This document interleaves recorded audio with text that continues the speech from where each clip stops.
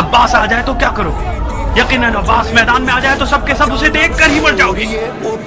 अरे भागो तराई से, अली आया अली आया फिर उसके बाद दरिया पर फकत गाजी नज़र आया।